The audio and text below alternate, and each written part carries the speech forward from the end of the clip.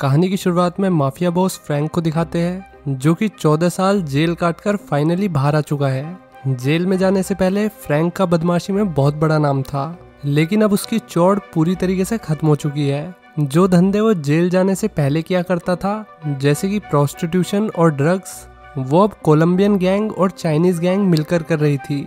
इसी के साथ द गुड सिनेमा पेश करते हैं किंग ऑफ़ न्यूयॉर्क अब कोलंबियन बिजनेसमैन एमिलियो को दिखाते हैं जो कि प्रोस्टिट्यूशन का धंधा करता था। वो एक फ़ोन बूथ में कॉल करने के लिए गया और कुछ लोगों ने वहाँ पर आकर उसे फ़ोन बूथ के अंदर भूत बना दिया। उन्होंने मरे हुए इमिलियो को न्यूज़पेपर दिखाया और बताया कि तेरा बाप फ्रैंक वापस आ चुका है। इसके बाद जिमी नाम का बंदा किंग हीतो से मिलने होटल में जाता है, जहाँ पर ड्रग्स के बदले जिमी को पैसे लेने थे। लेकिन किंग हीतो पैसे देने के लिए तैयार ही नहीं।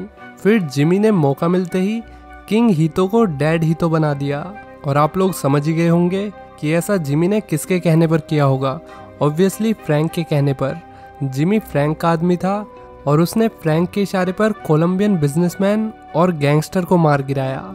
सब लोग फ्रैंक की वापसी का जश्न मना रहे थे और फ्रैंक भी वापस अपने चेले चपाटों में आके खुश था। अब जिमी ने फ्रैंक को बताया कि जल्दी उसकी डेलिसियो नाम के मिडलमैन के साथ मीटिंग है। फिर फ्रैंक मीटिंग के लिए पहुँच गया। वहाँ वो अपने बड़े बड़े दोस्तों से मिला जिनमें लॉयर, जज और बिजनेसमैन शामिल थे। उसने मिडलमैन डेलिसियो से कहा कि जल्द से जल्द उसकी मीटिंग क्ले नाम के माफिया बॉस के साथ फिक्स कराई जाए। इसके बाद फ्रैंक एक लड़की को लेकर वहाँ से निकल गया। फिर डेलिशियो क्ले के पास जाता है और उससे फ्रैंक के साथ मीटिंग करने के लिए कहता है। लेकिन क्ले ने मना कर दिया। ये कहते हुए कि मैं नकली गैंगस्टर्स के साथ मीटिंग नहीं करता, जो चौदह साल बाद अभी छुट के आए हैं। फ्रैंक के बिज़नेस प्रपोजल को रिजेक्ट करने का तरीका थोड़ा कैजुअल था। इसके बाद फ्रैंक को दिखाते हैं, जो कि अमेरिकन मेट्रो को दिल्ली मेट्रो बना रहा था। तभी वहाँ पर दिल्ली मेट्रो की आंटियों का रोल निभाने के लिए अंकल आ पहुँचे। वे लोग फ्रैंक को अकेला देखकर उसे डराना चाह रहे थे, लेकिन वे नहीं जानते कि वे जिसे डरा रहे हैं उसके तो पहले से ही पैर काँप रहे हैं, हालाँकि फ्रैंक के पास एक गन थी जिसके चलते ये लोग फ्रैंक से ज़्यादा फ्रैंक नहीं हो पाए। फ्रैंक ने भी ने ज़्यादा कुछ नहीं कहा। बस नोटों की एक गड्डी पकड़ाते हुए कहा कि कल ताज होटल, कमरा नंबर 420 में मुझसे मिलना। इसके बाद फ्रैंक क्ले से मिलने जाता है, जिसने उसका बिज़नेस प्रपोजल ठुकरा दिया था। फ्रैंक ने उसे कन्वेंस करने की भी कोशिश की, लेकिन क्ले का यही कहना था कि वो छपरियों के साथ बिज़नेस नहीं करता। इतनी बेजती मैं तो न सहता फ्रैंक भाई, और फ्रैंक भाई ने भी नहीं सही। उसने क्ले और उसके आदमियों को मौत के घाट उतार दिया और फिर उसके पूरे बिज़नेस पर अपना कब्जा कर लिया। जैसा कि उसने कोलंबियन बिजनेसमैन के साथ किया था। इसके बाद फ्रैंक एक मीटिंग में मेयर से मिलता है। उसने मेयर से पूछा कि शहर के हॉस्पिटल को कितनी फंडिंग की ज़रूरत है। तो मेयर ने बताया 16 मिलियन डॉलर्स की, जो कि अभी गवर्नमेंट के बजट से बाहर थी। 16 मिलियन की फंडिंग जोड़ने का काम फ्रैंक ने अपने सर पर ले लिया।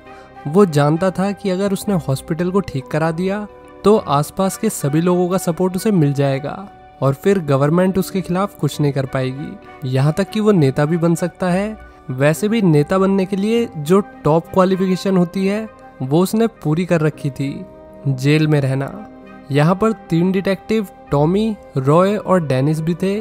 जो फ्रैंक को बड़े फ्रैंकली अपने साथ बाहर ले गए। दरअसल फ्रैंक के आदमियों ने एनरिको नाम के बंदे को बहुत मारा था, लगभग अधमरा ही कर दिया, क्योंकि एनरिको कोलंबियन ड्रग लॉर्ड के लिए काम करता था और वो पुलिस के साथ मिलकर फ्रैंक के खिलाफ गवाही देने वाला था कि उसने ही जेल से निकलने के बाद कोलंबियन गैंग के ड्रग लॉर्ड्स को मारा है। इसी बीच डेलिशियो वोंग नाम के चाइनीज़ गैंगस्टर से मिलता है उसने फ्रैंक की तरफ़ से वोंग को बिज़नेस प्रपोजल दिया। वोंग चाहता था कि उनकी डीलिंग कैश में हो, उसके पास 200 मिलियन के बराबर कमाल था। वो जानता था कि फ्रैंक इतना कैश नहीं दे पाएगा, इसलिए उसने ऐसी शर्त रखी। इस पर डेलिशियो ने कहा कि उन्हें, यानी कि फ्रैंक और वोंग को आमने सामने बैठ के बात करनी चाहिए। इससे अगले दिन जिमी एक रेस्टोरेंट में जाता है, जहाँ पर एक बुज़ुर्ग महिला और उसके पोते को देखकर उसने उन्हें कुछ पैसे दे दिए। तभी वहाँ पर डिटेक्टिव और पुलिस ऑफिसर्स पहुँच गए और उन्होंने जिमी को अरेस्ट कर लिया। इधर फ्रैंक और चाइनीज़ गैंगस्टर वोंग के बीच में बिज़नेस डील चल रही थी। वोंग फ्रैंक के हर प्रस्ताव को ठुकरा रहा था, जिसके चलते फ्रैंक का मुँह ठोंगे जैसा बन गया। होटल पहुँचते ही उसे जिमी की गिरफ्तारी के बारे में पता चला और उसने अपनी पूरी जी जान लगा दी जिमी को छुड़ाने में। जल्दी पुलिस को जिमी को छोड़ना ही पड़ा, क्योंकि उन पर फ्रैंक की वजह से मेयर का दबाव पड़ रहा था।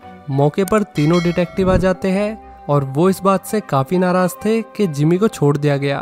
फ्रैंक की लॉयर ने बताया कि अगर उन्होंने फिर से जिमी को हाथ लगाया तो उन्हें कोर्ट का दरवाज़ा खटखटाना पड़ेगा। दूसरी तरफ़ चाइना टाउन के अंदर फ्रैंक और उसके आदमियों ने वोंग और छोटी छोटी आँख वाले उसके साथियों पर हमला कर दिया।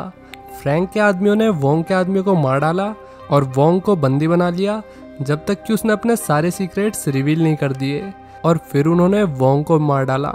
कुछ दिनों बाद फ्रैंक की डोनेशन से हॉस्पिटल फिर से चालू हो गया, जिसके चलते फ्रैंक फिर से न्यूयॉर्क सिटी का किंग बन चुका था। ये देखकर डिटेक्टिव डेनिस की बहुत जल रही थी। वो सोच रहा था कि हम यहाँ दिन रात काम करके भी कुछ नहीं उखाड़ पा रहे, और ये दो नंबर का काम करके नाम बना रहा है। डेनिस ने कहा कि कानून फ्रैंक जैसे लोगों के लिए बना है और अब उसके पास इतना पैसा है कि कानून के तरीके से उसे पकड़ना ऑलमोस्ट इम्पॉसिबल है। फिर डेनिस ने एक प्लान बनाया, जो कि कानून की नज़रों में तो इलीगल था, लेकिन फ्रैंक को पकड़ने का यही सिर्फ़ एक रास्ता था। हालाँकि रॉय उसके प्लान से खुश नहीं था और उसने इसमें पार्टिसिपेट करने से मना कर दिया। फिर एक क्लब दिखाते हैं, जहाँ पर बढ़िया पार्टी चल रही थी। फ्रैंक भी यहीं पर था। तभी डेलिसियो अपने साथ एक आदमी को लेकर आया, जो कि उसके हिसाब से ड्रग डीलर था। उसने फ्रैंक के साथ डील करने की कोशिश की, लेकिन बात कुछ बनी नहीं। तो उसने कहा कि वो अपने बॉस से बात करके एक नया प्रपोजल लेकर आएगा। बाहर जाते ही उसे गार्ड मिला और उसने गार्ड को गोली मार दी। इसका मतलब ये कोई ड्रग डीलर नहीं, बल्कि ये तो डिटेक्टिव है, जो कि डेलिसियो के साथ मिलकर फ्रैंक को पकड़ने आया है। गार्ड के मरते ही वहाँ पर हथियारबंद लोग पहुँच गए और उन्होंने क्लब में गोलियाँ चलाना शुरू कर दिया। इस गोलीबारी में फ्रैंक बड़ी मुश्किल से जिमी को लेकर निकलता है। हालाँकि अटैकर्स में से एक उनकी गाड़ी पर लटक गया। जिमी ने जब उसका मास्क उतारा तो उसे पता चला कि ये तो डिटेक्टिव है। फ्रैंक ने उस डिटेक्टिव को बेरहमी से मार डाला।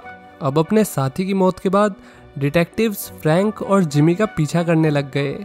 बहुत देर तक कार चेस के बाद फ्रैंक उनसे पीछा छुड़ाने में कामयाब रहा, लेकिन तभी उनकी कार का एक्सीडेंट हो जाता है। कार में से जिमी बाहर निकला और वो टॉमी पर गोलियाँ चलाने लगा। मौका मिलते ही उसने टॉमी को मार डाला। इधर डेनिस फ्रैंक को ढूंढ रहा था, लेकिन फ्रैंक उसे कहीं नहीं मिला। और फिर जब उसने जिमी को टॉमी की हत्या करते हुए देखा तो उसने तुरंत जिमी के अंदर कई सारी बुलेट्स उतार दी। इसके बाद हम टॉमी का फ्यूनरल देखते हैं जहाँ पर डेनिस अपने दोस्त टॉमी को श्रद्धांजलि देने आया था। वो जल्दी यहाँ से निकल गया, तभी यहाँ पर एक कार आती है और उसमें था फ्रैंक, जो यहाँ डेनिस से जिमी का बदला लेने आया था। एक गोली में डेनिस की कहानी लिखकर वो यहाँ से निकल गया। वापस हेडक्वार्टर पहुंचकर फ्रैंक डेलिशियो से मिलता है, जिसे उसके आदमियों ने बंदी बना रखा था। डेलिशियो ने बताया कि पुलिस ने उसे 50 मिलियन देने का वादा किया था और साथ ही आज़ादी भी। वो भी सिर्फ़ फ्रैंक की लोकेशन बताने के बदले। ये सुनने के बाद फ्रैंक ने अपने आदमियों को डेलिशियो को ज़िंदा दफनाने का ऑर्डर दे दिया। आखिर में रॉय, जो कि तीसरा डिटेक्टिव था, वो फ्रैंक से मिलने उसके होटल पहुँचता है। फ्रैंक ने उसके सामने सब कुछ कबूल कर लिया कि उसने ही कोलंबियन ड्रग लॉर्ड्स को मरवाया था, साथ ही उसके डिटेक्टिव साथियों को भी। फिर फ्रैंक ने रॉय को कुर्सी से बाँध दिया। हालाँकि फ्रैंक के जाते ही रॉय ने खुद को छुड़ा लिया। वो फ्रैंक का पीछा करते करते मेट्रो तक पहुँच गया। फ्रैंक ने एक पैसेंजर को शील्ड की तरह इस्तेमाल किया और फिर बेदर्दी से रॉय को गोली मार दी। इसके बाद उसने टैक्सी ली। यहाँ पर हम देखते हैं कि गोली फ्रैंक को भी लगी थी। जब टैक्सी वाले ने उसके हाथ में बंदूक देखी तो उसने टैक्सी साइड में लगा ली और बाहर निकल गया। पुलिस अब आ चुकी थी, लेकिन उन्हें क्या पता कि फ्रैंक तो उनके आने से पहले ही जा चुका है। वो भी ऊपर। दोस्तों क्राइम का रास्ता वाकई में तेज है। इतना तेज कि बंदा टाइम से पहले ही ऊपर पहुँच जाता है। कभी भी क्राइम के रास्ते को अपनाने से पहले क्राइम पेट्रोल देख लेना। पुलिस से बचने की टिप्स मिल जाएगी। खैर, सावधान रहे, सतर्क रहे। वीडियो अच्छी लगी हो तो लाइक करें। और चैनल पर पहली बार आए हो तो सब्सक्राइब कर देना।